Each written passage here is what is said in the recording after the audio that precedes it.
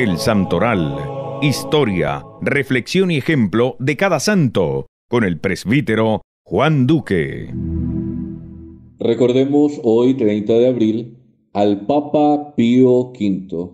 Nació cerca de Alejandría, Italia, en el año 1504.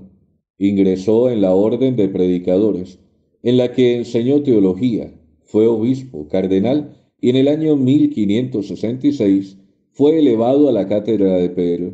Prosiguió con tenacidad la reforma de la Iglesia, iniciada en el Concilio de Trento. Favoreció la propagación de la fe y la restauración del culto divino. Murió el primero de mayo de 1572.